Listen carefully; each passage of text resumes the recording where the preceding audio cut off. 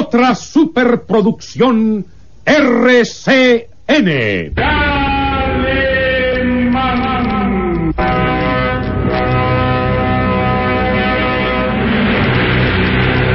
Caballero con los hombres. Galante con las mujeres. Tierno con los niños. Implacable con los malvados. Así es.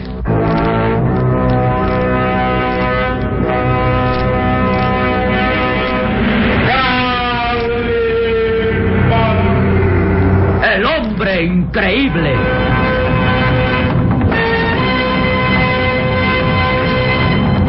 La más peligrosa aventura donde el misterio, la leyenda, los extraños ritos paganos, la traición y el crimen surgen a cada paso por tierras del oriente.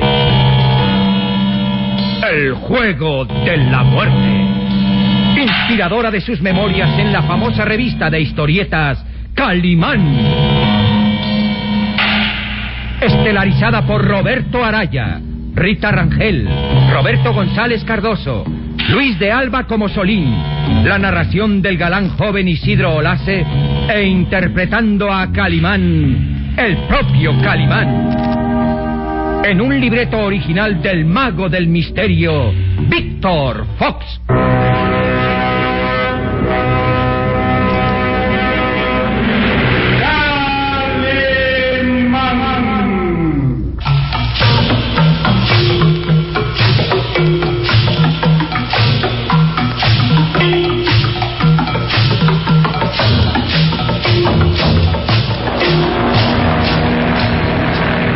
Moderno hidroavión continúa su vuelo rumbo a Bombay y Calimán considera entonces que ha llegado el momento de entrar en acción. Las sombras de la noche surgen ya en el horizonte y los últimos destellos del sol hacen relucir la estructura plateada del avión que por efectos visuales parece estar detenido en el espacio. Calimán se concentra mentalmente para un experimento de telepatía. Voy a hacer contacto mental con el gigante Tanio. Es un experimento de telepatía. Tanio. Tanio. ¿Me escuchas?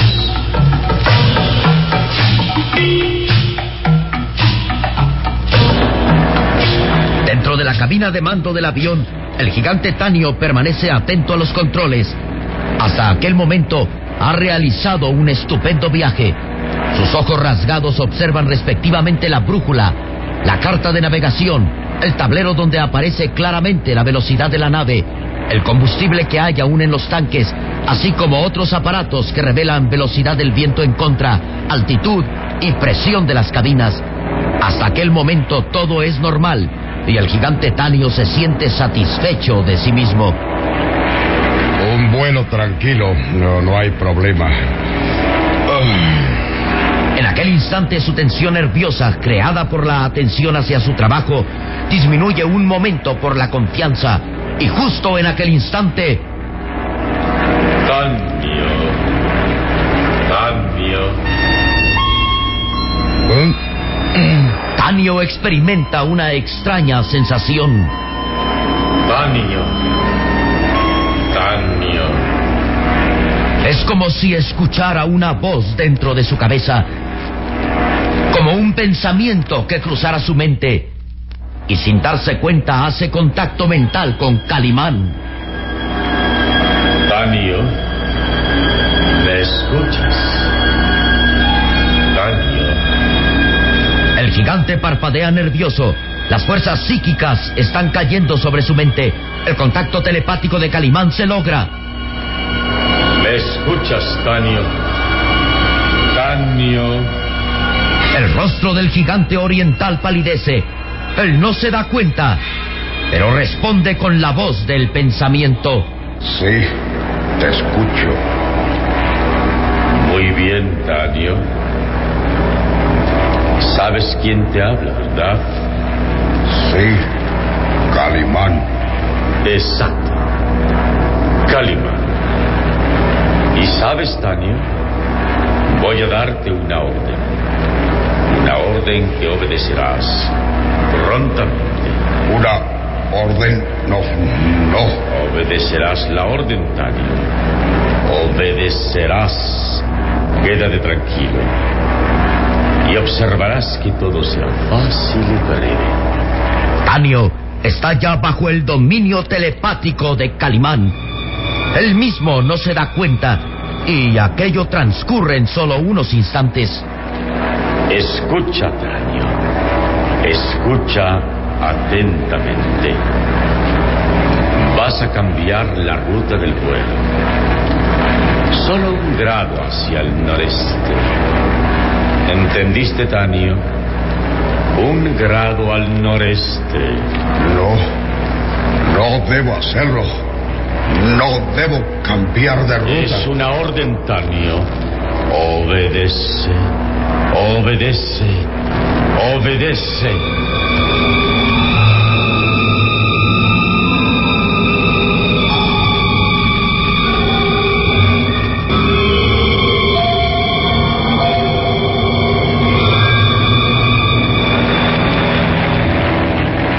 Asombroso el experimento de telepatía realizado por Calimán, teniendo como víctima al gigante Tanio. Sin que éste se dé cuenta, está escuchando la voz del pensamiento del hombre increíble resonar en su cabeza y vencer su voluntad. Cambia la ruta de vuelo, Tanio. Solo un grado, ¿entiendes? Solo un grado hacia la latitud noreste. Obedece, Tanio. Obedece.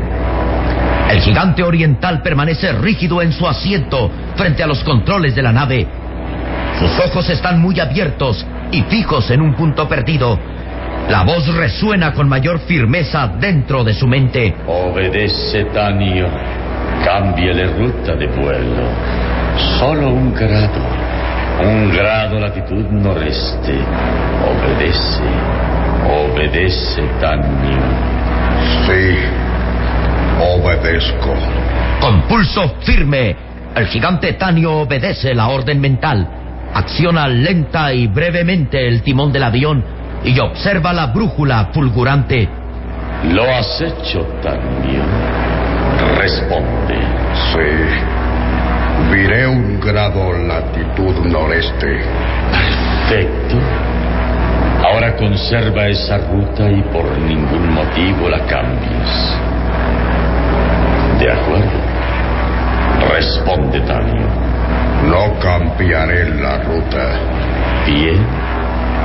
Ahora escucha con atención. Borra de tu mente cualquier recuerdo de lo sucedido. ¿Has comprendido? Olvida que escuchaste mi voz y que llevas otro rumbo de vuelo. ¿Entendido? Entendido. Gracias, Tanio. Ya puedes sentirte tranquilo. Calimán permanece inmóvil en su asiento, con las manos presionando las sienes. Solín lo mira interrogante. Olvida que escuchaste mi voz y quédate tranquilo. Descansa. Descansa.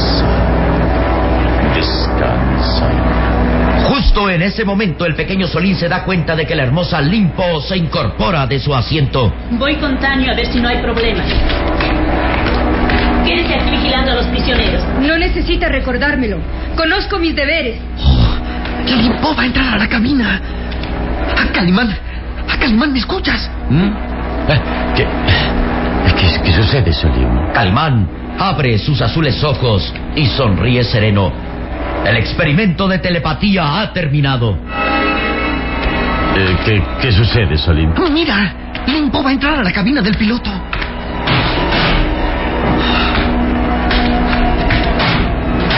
Ya entró. Pero no hay peligro, Solín. Todo está en orden. Pero, ¿pero qué sucedió? Nada más te veía inmóvil y con los ojos cerrados. Estaba en contacto telepático con Tania. ¿Lo lograste? Ajá. ¿Y qué más? Dime. De pronto lo sabrás, Solín.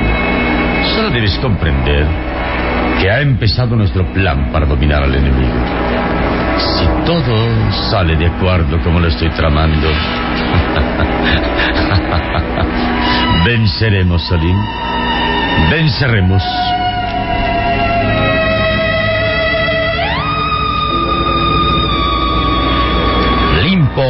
Penetra a la cabina de mando del avión y avanza hacia el gigante Tanio, quien permanece inmóvil frente a los tableros de control, con expresión medio adormilada.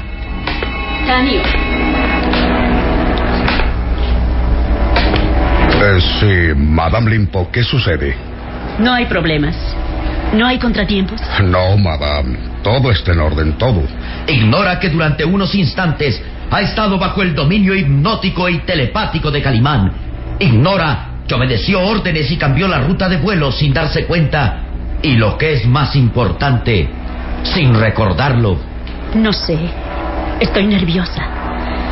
¿Cuánto tiempo falta para que lleguemos a Bombay? De acuerdo al plan de vuelo, en dos horas estaremos en Bombay. ¿Estás seguro? Que por supuesto, Madame. Soy un buen piloto. Lo he demostrado desde que salimos de la costa de Birmania y, y hasta ahora todo marcha bien. Oh, sí. Supongo que todo marcha bien, pero no sé. Tengo como un extraño presentimiento de que algo saldrá mal. La hermosa oriental se acomoda en el asiento del copiloto y el gigante Tanio la mira de reojo. Está usted nerviosa, Madame. Creo que debe tranquilizarse. Estamos ya muy cerca de nuestro destino y solo tendremos que entregar a los prisioneros para que sean ejecutados. Ahí terminará nuestra misión. Limpo no responde. Sus hermosos ojos rasgados están fijos hacia el frente de la cabina, mirando a través de los cristales cómo las sombras de la noche surgen ya a su alrededor. Es ya de noche. Ya sé, Madame. Será una noche oscura, puesto que en esta época y en estas latitudes la luna sale más tarde. Tanio, ¿cómo es que se puede llegar a un punto preciso estando en el aire? ¿Cómo sabes hacia dónde está Bombay? ¿Cómo llegarás ahí en medio de la oscuridad de la noche? es muy sencillo, Madame. La brújula nos orienta y nos da la relación conforme al plan de vuelo. Yo solamente sigo la ruta indicada de antemano y llegaremos a Bombay sin ningún problema. es algo muy sencillo, como se sabe. Sonriente y tranquilo certifica su ruta de vuelo. Ignora que, sin saberlo, obedeciendo órdenes de Calimán, ha variado un grado hacia el este y aquello será de enorme importancia. Ay, bien. Recuerda que tenemos que hacer contacto con la organización cuando estemos cerca de Bombay. Sí, Madame, no lo olvidaré.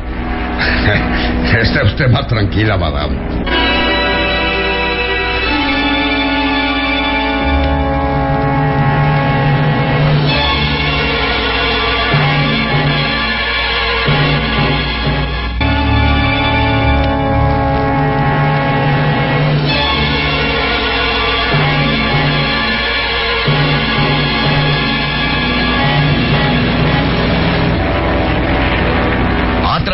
Una hora, treinta minutos desde el momento en que Calimán sostuvo el contacto telepático con Tanio, ordenándole variar ligeramente el rumbo de vuelo, sin que el gigante pueda estar consciente de ello, puesto que Calimán le ordenó borrar cualquier recuerdo al respecto del experimento psíquico.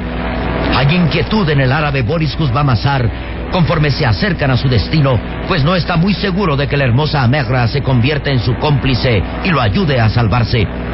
Cautelosamente mira hacia donde Calimán y el pequeño Solín permanecen inmóviles en sus asientos. Y el pequeño Abel Karam, el joven príncipe, descubriendo que es el momento indicado para hablar con Amegra antes de que el limpo regrese. Debo saber de una vez por todas si Amegra aceptará mi proposición. Nos estamos acercando a Bombay. Y debo saber si hay esperanza de salvación.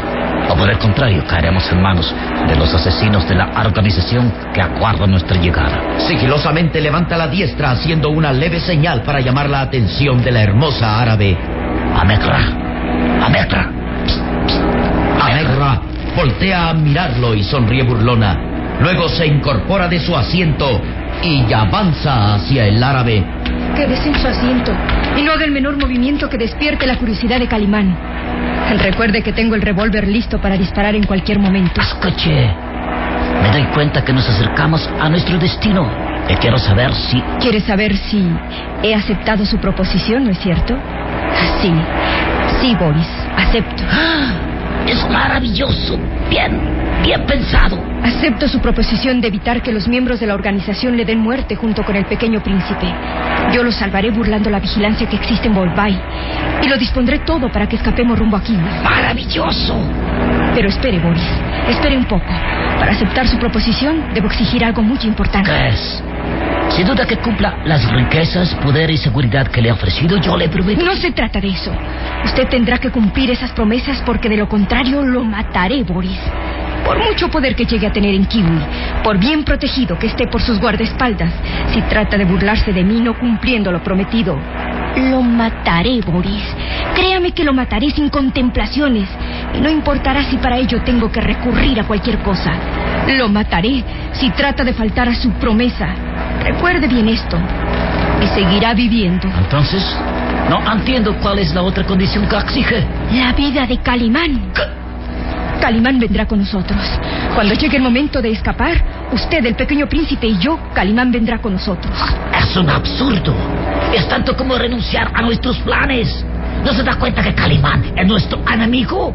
Si lo dejamos vivo, no podremos llevar a cabo mis planes. Intercederá para acabar con nosotros. Calimán vendrá con nosotros. No estoy dispuesta a dejarlo en manos de los asesinos. Estoy enamorada de él y tengo planes para gozar de la libertad teniéndolo cerca. Pero es un absurdo. Calimán nos destruirá. Imposible. Confía en mí, Boris. Yo haré que Calimán venga con nosotros en el momento de escapar y juntos huyamos a Kiwi. Y una vez allí, cuando el pequeño príncipe sea coronado rey, Calimán se olvidará de todos sus deberes consagrándose solo a mí. Sueña. Nadie puede someter su voluntad. Yo lo haré. Calimán terminará por enamorarse locamente de mí. Y no habrá ningún riesgo de que nuestros planes fracasen. Pero es que De lo contrario, nos olvidaremos de todo. Dejaré que los asesinos de la organización lo maten llegando a Bombay. Usted decide, Boris. Usted decide. No sé qué responderle. Es como firmar un pacto donde de antemano sé que no hay posibilidades de ganar. ¿Se da cuenta? Calimán es indomable y se No hablemos inútilmente, Boris. Acepte usted mis condiciones, sí o no. Solo espero una respuesta concisa. El árabe tiembla. Sus manos se entrelazan nerviosas. Sus ojos se mueven inquietos mirando alternativamente a Mehra y a Calimán en el extremo opuesto de la cabina. Y al parecer ajeno a su conversación, el árabe al fin responde quedamente. De acuerdo, acepto sus condiciones, Amehra. Pero le advierto que es usted responsable de todo. Si Calimán se lanza contra nosotros y echa por tierra los planes, usted será la única responsable, ¿entiende? La única responsable. De acuerdo. Y no vivirá para contarlo. Como usted amenaza, yo también le diré que si esto fracasa por su empeño de salvar a Calimán, la mataré, Amehra. La mataré. No hay más que hablar. El pacto está sellado. Escaparemos de los asesinos que nos aguardan en Bombay y emprenderemos el viaje rumbo a Kiwi, llevando con nosotros al pequeño príncipe Abel Karam y a Calimán. ¿Qué planes tiene? Ya lo sabrá pronto. Solo debe confiar absolutamente en mí y hacer todo lo que le ordene llegado el Pero momento. debo saber cómo... No hablemos más, Boris. El pacto está sellado. Créame que escaparemos ilesos a Kiwi. Ah. Lo juro. Pienso cómo es que va a deshacerse de Madame Limpo y el gigante Tanio. Ellos tampoco son fáciles de vencer. Cuando descubran que hay traición, serán capaces de matarnos o bien denunciarnos a la organización criminal. ¿Cómo piensas solucionar ese problema? Déjelo de mi cuenta, Boris. Lo dicho, le prometo que usted, el pequeño príncipe, Calimán y yo escaparemos. Por un instante, Boris mira fijamente a la hermosa árabe. Su expresión de firmeza absoluta convence al fin al árabe. De acuerdo. En sus manos está mi vida, mi destino y el destino mismo del pequeño príncipe que habrá de reinar en Kewe. Así será, Boris. Ahora quédese en su asiento y no haga absolutamente otra cosa que esperar el momento de escapar. Yo le diré cuándo, cómo y de qué manera lograremos burlar la vigilancia en Bombay. Quédese tranquilo y confíe en mí. La hermosa Megra regresa a su asiento mientras Boris piensa. Ah, llevar a Calimán con nosotros es tanto como renunciar a mis planes. Pero ella lo exige como condición y debo aceptar. Bien. Ahora tendré que matar a dos antes de que lleguemos aquí, güey. Me intriga pensar en cómo logrará esta mujer salvarnos del peligro de los asesinos esperando en Bombay.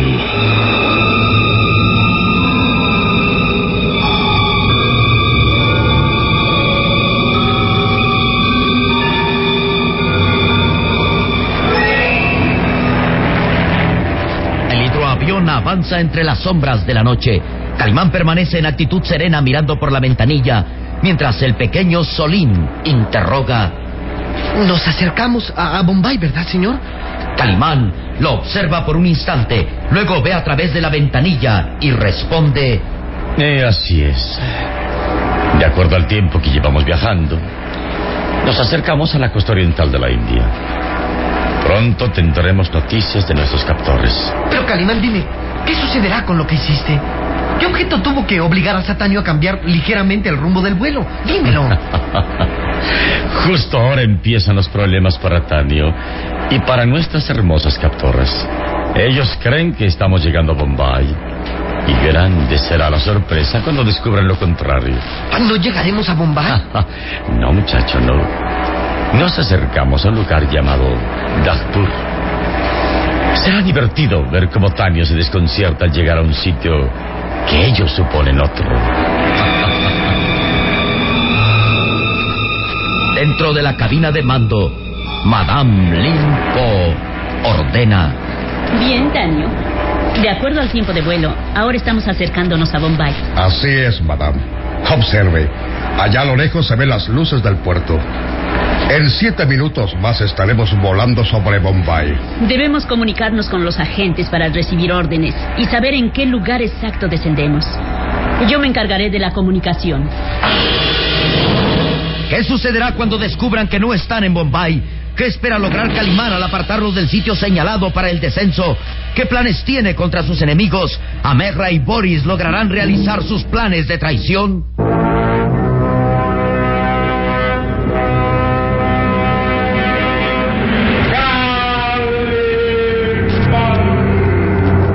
En nuestro próximo programa habrá más emoción y misterio en El juego de la muerte. Y recuerde, donde se halle una injusticia que reparar, o la emoción de una aventura, o la belleza de una mujer, ahí está.